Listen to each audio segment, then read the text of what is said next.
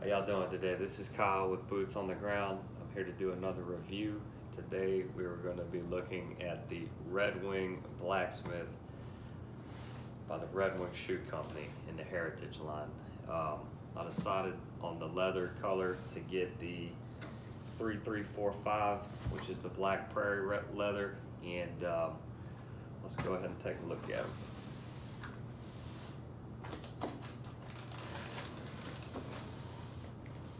These are the bad boys right here. And with any of the Red Wing Heritage line, you get the little card that says they've been hand inspected by so-and-so. And uh, unlike the Iron Rangers, these are $30 less. Let's see, they're $2.99 and with tax they're $3.20. And so they're just a little bit less, but they're, they're definitely not cheap by any means. So let's see what you get for the money. So with the black prairie leather, what it is, is it's an oil tan leather and it is uh, got a black finish on top. It's, uh, I wanna say it's kind of painted in and underneath it has the natural color of the leather. And so what happens is, is these wear out over time on the patina, you will see that natural color come through, which looks pretty cool. Um, let's see, I'll show you take the shoe trees out. So you can see that the inside of the leather is like that kind of brown color. And first off, I think it's a really good looking boot. You got the contrast on the welt here and uh, the hardware. You got the brass eyelets and you got, you know, four eyelets and three speed hooks and they're brass. So it's a little bit dressier than the Iron Ranger. Uh, the, the laces are waxed. Um, they're more flat than they are round and uh, they look pretty good.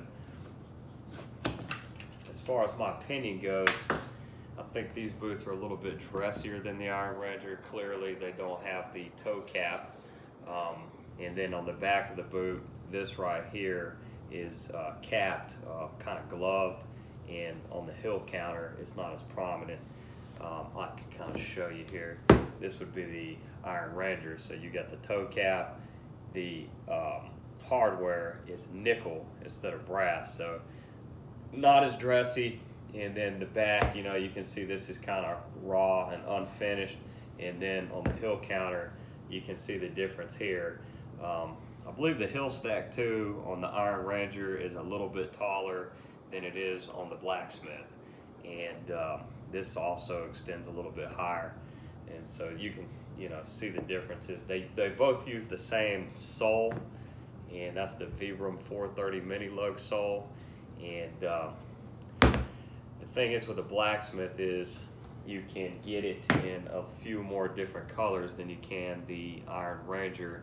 Um, the colors you can get on the blacksmith, you can get the black prairie, which is these, uh, the copper rough and tough. You can get that on the Iron Ranger, but you can get the briar oil slick in the blacksmith, and um, that would look really good with a suit um, you could actually wear these with a suit too.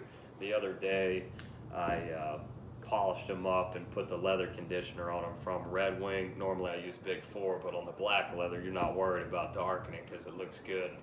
It gave them kind of a, a wet look for a day. As you can see, they're back to the matte finish, but if you were gonna wear them with a suit, you could just put that on them. They'd last for a day and they look really sharp.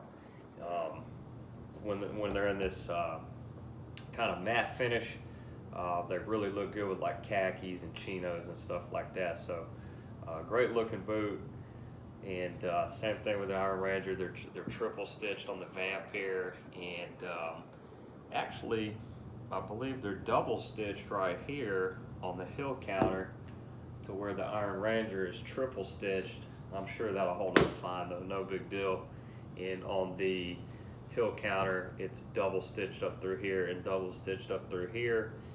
Um, as far as comfortability goes, they're very comfortable. Um, I believe that the break-in was about the same as the Iron Rangers. It wasn't too bad, maybe a week. It's funny because I bought the floor model and the one that they had as the floor model was more comfortable than the other one that came in the box. But after uh, wearing those, uh, walking around the park or whatnot, I broke the boots in within a day. So now they both fit good. Um, the difference is too on the sizing. I got these in an eight and a half compared to the Iron Ranger. I got those in a nine. I believe these fit a little bit different.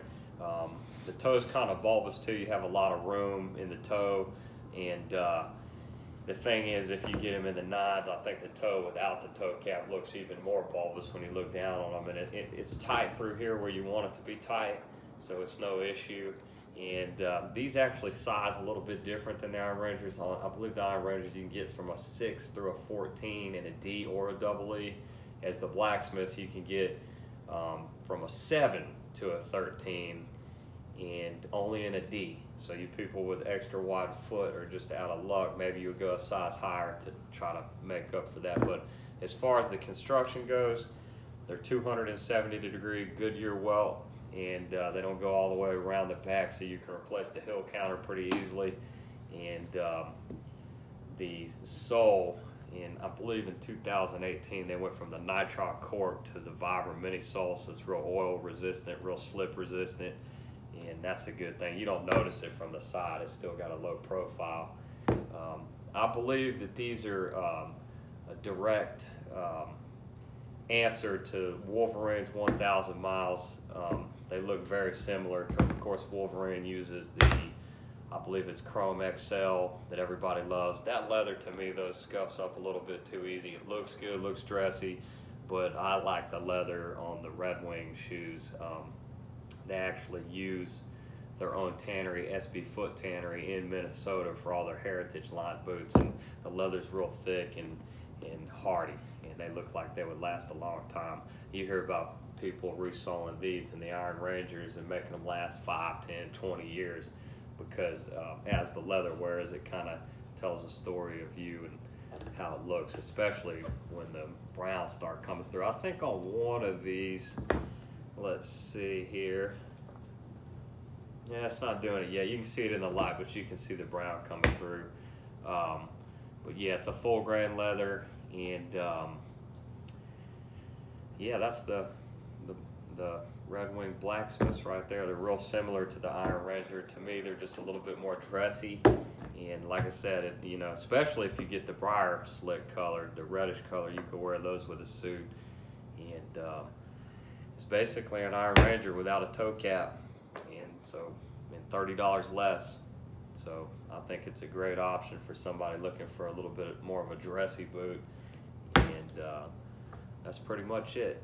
Um, if you like what you're seeing and like these boot reviews, be sure to subscribe and like and uh, I'll post some more content. We'll do a few more reviews on some other boots. I got a ton of boots. I got some hunting boots, uh, Timberlands, casual boots, yeah, work boots, and I'll be doing a bunch of reviews on all the different ones.